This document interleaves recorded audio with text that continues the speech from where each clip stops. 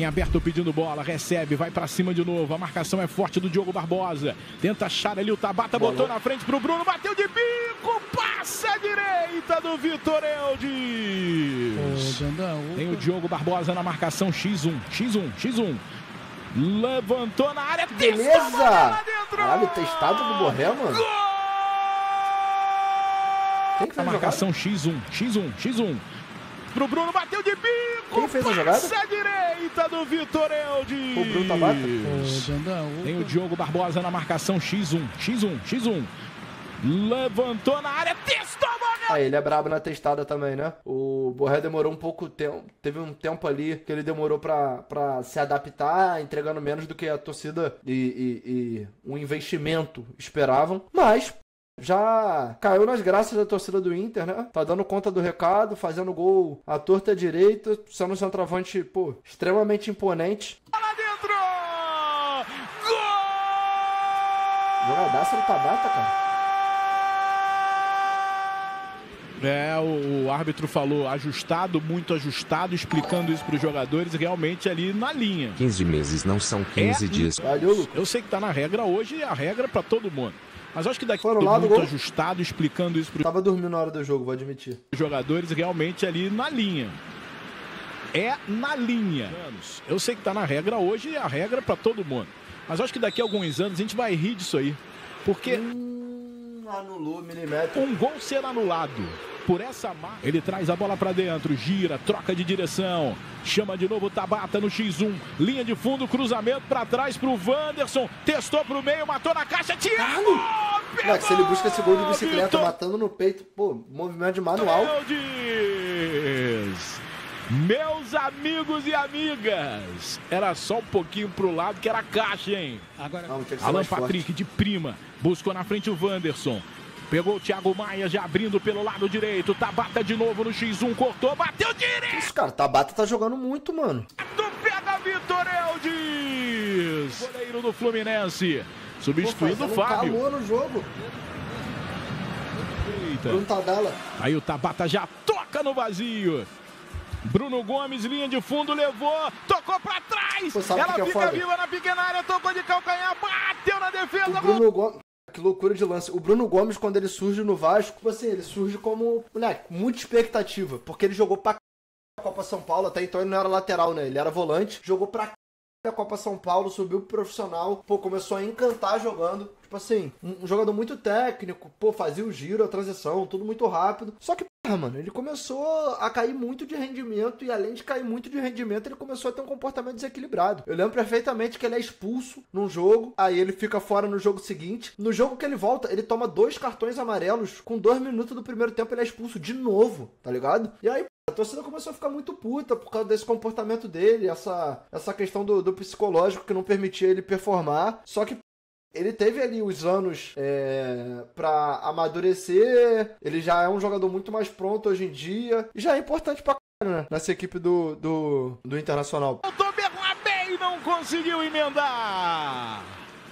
Ah, tem que parar o jogo. Ô, Roger, tem que parar o jogo. Você quer o árbitro parar do nada? Quando a bola saiu, o VAR tá analisando. Bola comprida, dominou Bernabé, foi pra dentro, cruzamento, carimbou na defesa. Ah, vai sobrar pra ele, é claro. Gol!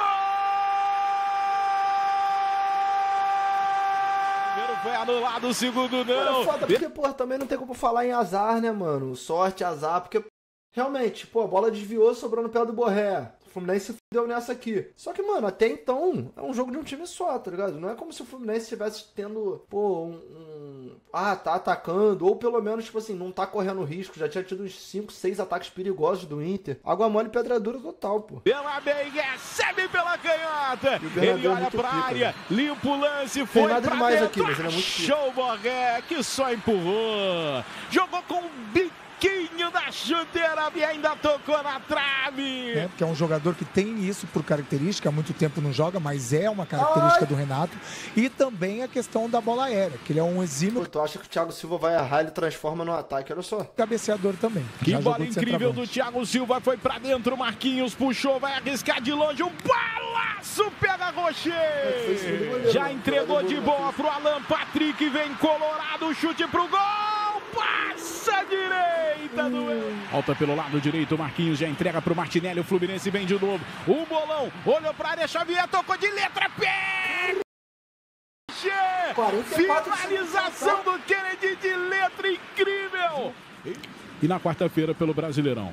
Olha a bola espetada pro Bernabé. Linha de fundo, vem cruzamento, rasteiro pra trás. Quem chega lá dentro? Pô, essa parte do jogo eu já tava vendo. A jogada do Inter é boa, é trabalhada de pé em pé. O contra-ataque, pô, com 49 do segundo tempo. Mas, cara, não tem como não comentar a lentidão quarta-feira, pra velocidade de reação do, do setor defensivo do Fluminense, cara. Pelo brasileiro. Pô, a bola é achada em profundidade aqui, beleza. O Bernabé já tava muito mais próximo dela. Só que isso aqui, o Bernabé, quando ele de faz fundo, o passe, tipo assim, porra, o Manuel parece um, um, um navio manobrando para chegar nela. O Samuel Xavier dormindo. Cruzamento, rasteiro pra trás, quem chega lá dentro?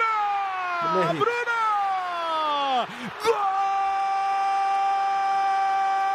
E bateu do jeito que deu. Pena bem na jogadinha. Ela vem, ó. O Brunão bateu de perna direita. Toca ali no Manuel. Engana todo mundo. E ela vai pra rede. Manuel, cara, e essa situação do Fluminense é complicada também, né? Porque, se eu não me engano, o Ignacio, que foi o zagueiro que foi contratado para estar tá jogando de titular ao lado do Thiago Silva, ele teve a lesão no, no joelho dele, né? E ele tava para voltar. Só que eu acho que, tipo assim vai precisar esperar mais um Entrei pouco pra volta dele. Pô, o Fluminense contrata o Ignacio para jogar, ser a dupla titular ao lado do Thiago Silva. Só que o Thiago Silva, só que o Ignacio tem a lesão, aí tava para voltar agora. Pelo que eu vi, vai ter que esperar mais um pouco. Aí o Thiago Santos tomou o terceiro amarelo no último jogo, foi suspenso, não pôde jogar hoje. Aí vai, vai o Manuel, que é literalmente a quarta opção pra zaga do Fluminense, pô. Primeiro é o Thiago Silva, segundo é o Ignacio, terceiro é o Thiago Santos. Ainda tinha o Felipe Melo antes do, antes do Manuel. Só que o Felipe Melo também tomou o terceiro cartão amarelo. Minto. O Felipe Melo foi expulso enquanto tava no banco de reserva. Cara, o Manuel é a quinta opção, pô. Ele é a quinta opção do banco do Fluminense. Do banco não, né? Do elenco. Ele é a terceira opção do banco. Marquinhos foi para dentro. Jogou a bola na entrada da grande área. O toque do Renato Augusto. John Kennedy explode no tá travessão. Né? Tá aí. É, Internacional 2, Fluminense 0.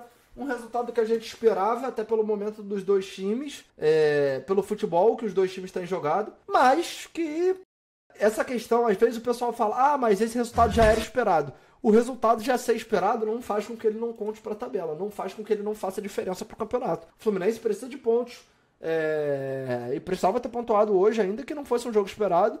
E o Internacional, que precisa de pontos para continuar no seu ímpeto é, na parte de cima, se eu não me engano, agora até está no G4. O Flamengo tem um jogo a menos, mas no momento Internacional passa novamente o Flamengo e o Inter cumpriu a missão.